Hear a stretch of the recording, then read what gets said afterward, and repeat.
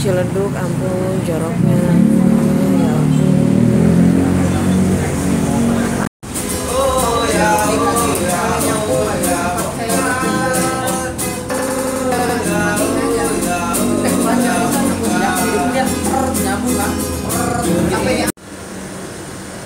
Ya yang menarik adalah Sevel ini dalamnya tuh rapi sebenarnya. Rapi banget jadi kesimpulannya apa yang terlihat indah dari luar belum tentu bagus di dalam. Dan yang bagus di dalam juga biasa penampilan di luarnya acak-acakan. C'est la vie